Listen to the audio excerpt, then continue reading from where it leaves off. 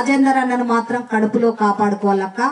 ఒక బక్క పలసని బిడ్డ బడుగు బలహీన వర్గాల బిడ్డ ఒక బీసీ బిడ్డ మీద ఇంత మంది కుట్ర చేస్తారా? గిన్ని కథలా? గిన్ని జైలింగ్లా? ఇంత ఖర్చా?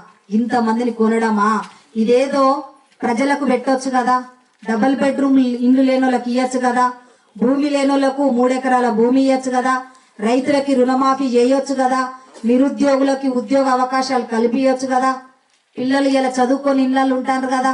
ఎందుకు ఈ మూర్ఖునికి గింత ఖర్చు రాజేందర్ అన్న మీద? అంటే రాజేందర్ అన్న అసెంబ్లీలో అడుగు పెడితే ఇలా తండోపు తండాలుగా రాష్ట్ర వ్యాప్తంగా ఎక్కడ రాజకీయంగా మేము జీరో అవుతామో ఏమో. ఇలా రాజేందర్ అన్న ఒక వెలుగు వెలుగుతాండు. హుజరాబాద్ గెలుపు అనేది రాజేందర్ అన్న కాదు వల్ల రాష్ట్రం అంతా కూడా హుజరాబాద్ వైపు చూస్తారన్న భయం పుచ్చుకొని ఇంత నాటకం చేస్తుడు. ఈ కుట్ర చేస్తున్న ఈ రాష్ట్ర ముఖ్యమంత్రి గారికి రాజకీయంగా గోరి కట్టాలక్క దళితులకు మాత్రం ఒక గొప్ప విశ్వాసం మనకున్నది. ఒక్కసారి ఒక మనిషిని నమ్మినామంటే నేను అప్పుడప్పుడు చెప్తా రాజేంద్రన్నకు. మా జాతి కష్టకాలంలో పది రూపాయలు ఇస్తే సచ్చదాకా నీ బాంచన్ కాలు మొక్కుతానే జాతి అన్న మాది. మాకు మేము అంబేద్కర్ వారసత్వాన్ని పుచ్చుకున్నోళ్ళం. మేము ఆ విశ్వాసంగా ఉంటదన్న మా జాతి. కానీ ఇక్కడికి వచ్చేసరికి పది లక్షలు వస్తున్నాయి అంటే అది ఈట ఈటల రాజేంద్ర దయ వల్లనే. కానీ కేసీఆర్ పది లక్షలు ఇచ్చినా పది కోట్లు ఇచ్చినా మీకే విశ్వాసంగా ఉంటారన్న మా జాతి అని నేను రాజేంద్రనకి ఎప్పుడు చెప్తూనే ఉంటా. ఇప్పుడు కూడా అదే మాట చెప్తున్నా. పది కోట్లు ఇచ్చినా తీసుకుంటారు పది లక్షలు ఇచ్చినా తీసుకుంటారు పది రూపాయలు ఇచ్చినా తీసుకుంటారు మిమ్మల్ని మాత్రము ప్రాణమూలే కాపాడుకుంటారన్నా. ఎప్పుడైనా ప్రజల మనిషి అన్న మన మనిషి. మనతో మమేకమై ఉన్న మనిషి కాబట్టి మన మనదే బాధ్యత. అందులో ఈ నియోజకవర్గానికి వస్తే మన ఓట్లు ఎక్కువ ఉన్నాయనే కదా దళిత బంధువు పెట్టుడు పెట్టిండు. అవునా కదా? పోయి పోయి మనతో తలిగించుకున్నాడు కేసీఆర్. అన్ని కులాలు విడిచిపెట్టిండు ఇక. బొర్రెలు ఇత్తనని గొర్రెలు ఇత్తనని అవి ఇత్తనని ఇవి ఇత్తనని అందరిని ఉపయోగించుకున్నాడు వదిలిపెట్టిండు. దళితులతో పెట్టుకున్నాడు. ఇక ఆయనకు తప్పదు. అవునా కాదా అక్క?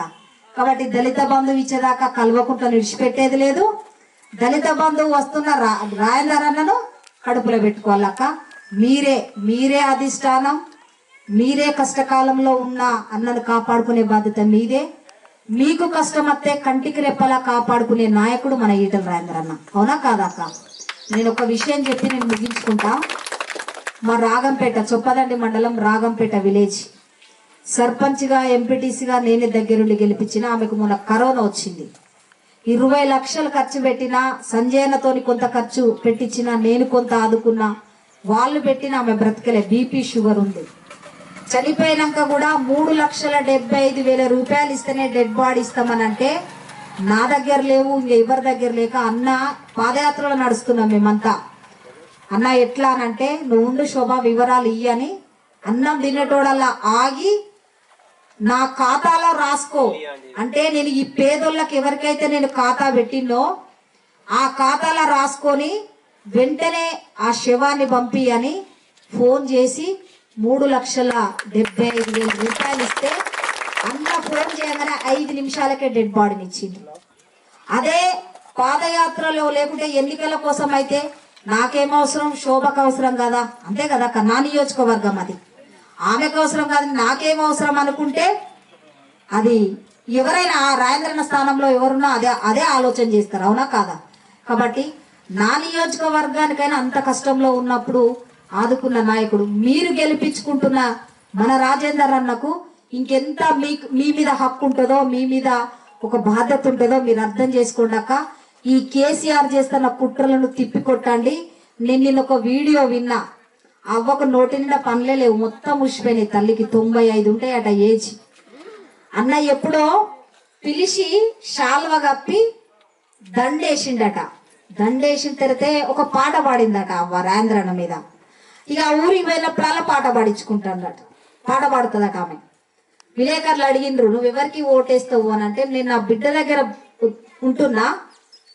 నా బిడ్డ దగ్గరనే ఉంటున్నా. నాకు కొడుకులు లేరు. ఈయనే నాకు ఓట ఓటక్కు ఉంది నేను రాయందర్ అన్నకి ఇస్తా ఎందుకవ్వా అంటే వందల మంది ఉండని గా అవ్వ రాలేదా అని పిలిచి ఎందరు శాల్వలేసినా మళ్ళీ నా మెడలేసి చేతుల చేయి కలిపి నాతో ఫోటో దిగిపోతాడు. సచిన కాడికి అత్తడు బతికిన కాడికి అత్తడు ఐదో పదో ఆదుకొని పోతాడు. ఉన్నోడు లేనోడు అని చూసేది కడుపు చూసేది ఈటల రాయందర్ అన్న మేము ఎందుకు ఎత్తాం? మరి కేసీఆర్ ఇస్తాడు కదా. తీసుకుంటాం. మాయ మాకి ఇస్తాండు ఎన్నికల తర్వాత అత్తయా రావు. ఎన్నికల ముందు వస్తున్నాయి తీసుకుంటాం. మళ్ళా ఓటేస్తాం ఏం గుర్తంటే పువ్వనే పువ్వు అనే పదం ఆమెకు నోటి నుండి వస్తలేవు అంత ఏజ్ అయినా. అంటే కేసీఆర్ కొనగలుగుతాడా ఆమెను గంత దమ్మున్నదా? కేసీఆరే కాదు కేసీఆర్ పుట్టించిన జేజమ్మ తరం కూడా కాదు. హుజరాబాద్ ఓటర్లను కొనడం అనేది. నీతి తక్కువ నాయకులను కొంటావు కావచ్చు. నీతి తక్కువలను కొంటావు కావచ్చు. నువ్వు నీతి తక్కువడివి. కానీ ప్రజలను ఏ నాయకుడు కొనలేడు. అవునా కాదక్క హుజరాబాద్కి వస్తే కూడా రాజేందర్ అన్నను కొనడం కేసీఆర్తో కాదు. ఈ నియోజకవర్గం అంతా పొర్రు దండాలు పెట్టి మోకాళ్ళ మీద కల్వకుంట్లంతా పాదయాత్ర చేసినా ఇక ఎంత నాటకం ఆడినా వాళ్ళు మాత్రం గెలవరు. ఈటల రాయంద్రనే గెలుస్తాను అంతేనాక గెలిపిస్తారు కదా? పక్కగా మన జాతుల్లో మాత్రము అన్నకు అనుమానం లేకుండా దీవించండి. అనుమానం పెట్టుకోకుండా కాపాడుకోండి. వాళ్ళు ఇస్తే మాత్రం ఎక్కువ తక్కువ తీసుకొని రక్క. మన సొమ్మే మనం పన్నులు కట్టిన పైసలు ఇవ్వాలి వస్తున్నాయి దళితులం కదా సార్ పది లక్షలు సరిపోతలేవు ఇరవై లక్షలు ఇవ్వాలని డిమాండ్ చేయండి. ఇక మనోళ్ళకి రాత్రి పుట్టిన తరుచుకుంటే ఒకటి కాదు రెండు ఫుల్ బాటిల్ ఇవ్వండి వచ్చేది దసరా పండుగ. వచ్చేది దసరా పండుగ. రాయంద్రన్న వీటికి దూరంగా ఉంటాడు. దూరంగా ఉంటాడు అన్న వీటికి? ఈ మట్టితో కోళ్ళో గుడ్లో చదువుతాడు కానీ గదైతే దూరంగా ఉంటాడు. ఒక్క బాటిల్ కాదు రెండు బాటిల్ ఇవ్వండి పండుగకో పబ్బానికో చుట్టాలు వస్తారు. కడుపు నుండి అరుచుకొని పంపిస్తే అయిపోయా. ఇది ఎవరి వల్ల వచ్చిందంటే మా రాయంద్రన్న దయ వల్ల వచ్చింది రెండు ఫుల్ బాటిల్ అని అందరు రెండు ఇచ్చే కాడ పది అడగారు తప్పేముందక్క? అవునా కాదా? మంచిగా అరుచుకొని పంపారు. ఎవరిని మాత్రం వాళ్ళని మాత్రం విడిచిపెట్టకండి. ఉత్తగా పంపకండి మన ఇళ్ళకైతే దప్పు కూడా సావు తప్పు కొట్టాను వాళ్ళకు. మంచి తప్పు కొట్టాలంటే రాయంద్రానికే కొట్టాలి. అంతేనా కాదా? ఓకే అక్కడ ఎందుకంటుందంటే దళితులకు మూడెకరాల భూమి ఇవ్వలే డబల్ బెడ్రూమ్లు ఇవ్వలే ఇంటికో ఉద్యోగం ఇవ్వలే. అవునా కదా? ఏనాడు దళితుల్ని గుర్తు ఏనోడు ఇయ్యాల? ముసలి కన్నీరు కారుస్తాడు కాబట్టి వాళ్ళకి తప్పకుండా బుద్ధి చెప్పాలి.